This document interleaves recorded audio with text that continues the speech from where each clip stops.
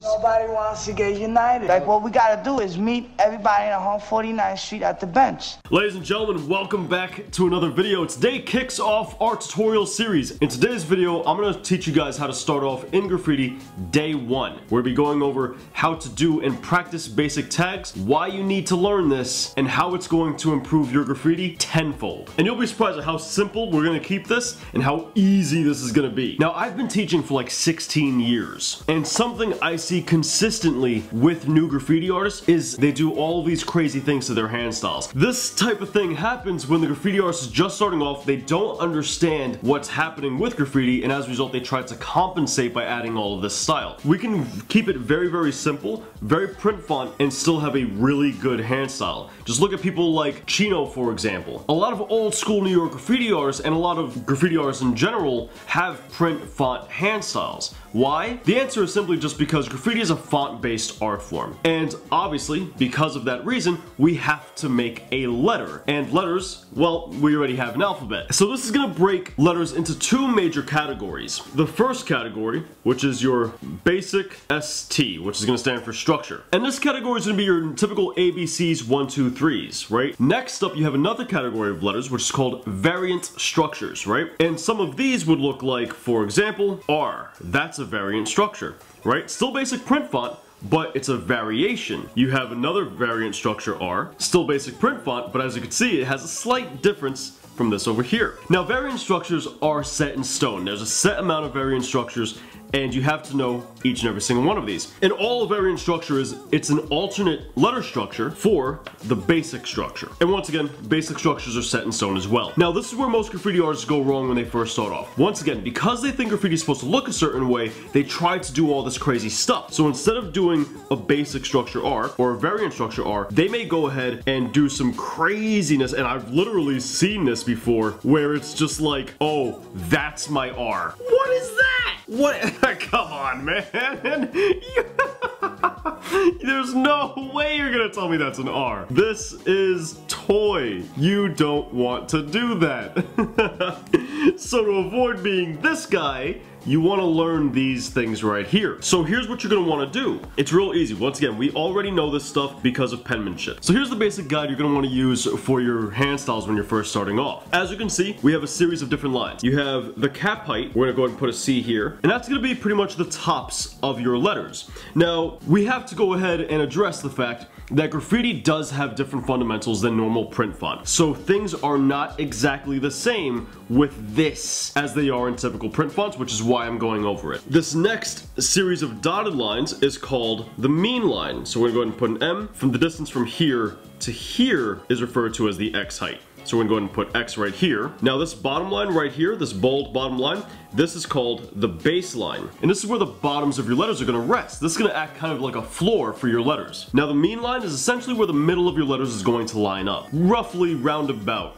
this area. Now this is your a ascender and typically in normal print fonts your a ascender is reserved in order to breach pieces of letters into say for example the top of a lowercase d or b. Those would go into your a ascenders. You can do that in graffiti as well that's not a problem at all but with the a ascender this is really reserved for you know more stylized stuff where you need a little bit of extra room. Your descender once again is reserved for anything that you want to breach to the bottom whether it's a letter or more stylized stuff. Sometimes hand styles have have pieces of themselves that kind of breach off real hard and kind of really pop out and it can go into the descender if you want it to. Now in normal print fonts where you might have a capital A that goes all the way from the baseline to the cap height with the center being in the mean line and a lowercase letter that would go to the mean line to the baseline, in graffiti all lowercase letters are treated as uppercase letters, meaning they go to the cap height, like so. This is so like that letters weigh out evenly. And it also helps for negative space management, like I said, letter and name weight, and letter and name positioning. This also also means when you do letters like the letter G, lowercase, you're gonna start like this in graffiti. Notice how the bottom of the G doesn't go to the descender. Now don't get me wrong, you 1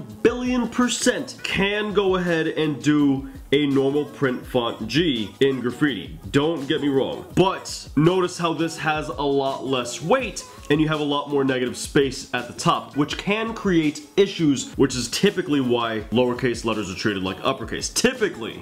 I want to make that perfectly clear. Now there's something else here. Notice how we've been using this marker for this size of tag. Something a lot of newer graffiti artists don't think about is nib width. They'll go ahead and they'll do a tag this big with a tremendous marker, and suddenly it doesn't look as good. And that's because they didn't consider how big their nib is for the size they're doing their tag. Some tags don't look good scaled down or scaled up. You always have to consider the tool you're using. You have to not only consider its size, but the line it creates. Because as you can see, this chisel tip is going to give us a much different line than say this brush pen. This can allow you to do different things. Now I'm not going to pretend to be a master calligrapher, but this angled nib can certainly allow you to go ahead and do different things. You see how we have that thin line right there and then these bolder lines? You're not really going to be able to get that with a rounder nib. Believe it or not, there are fundamental differences as we recently just discussed. It's just the way you lay out your negative space management, your letter and name weight. In typography and other font-based art forms, negative space management is referred to as kerning. And it's because kerning refers to the space between two letters, as to where negative space management is the management of all negative space. So that's not only the space between two letters, but the space within a single letter. Now, I want to make it perfectly clear because I can't overstate this enough. You can have more negative space in your basic print font. You certainly can. But this comes with a little bit of a balancing act. That's kind of how all art forms work. You can do anything in art, right? That's the beauty of art. But you have to know the rules before you can break them. You have to know the balancing act. Because as you can see, there's a certain effect that takes place once you start getting into the spacing of things. If I were to just simply write out the word grim, there's a reason we look at this as being a word, and it's because of how it's spaced. Notice if I go ahead and write it like this, we're not really gonna read this as a word, and that's because of how they're spaced. Now obviously this is a very dramatic example, but this illustrates the point well. And just to show the other extreme, if we write it too close to one another, you'll see how it distorts the letter structure. So negative space management and letter name positioning are very important. It can highly affect not only the way the word reads, but also affect the letter structure, and obviously affect flow. And that's how fundamentals in art forms work. One fundamental oftentimes heavily affects all of the other fundamentals, which is why becomes a little bit of a balancing act when you mess with things. Now it's important to know how all of these things work. We demonstrated negative space management right here, right? And as a result, we also dis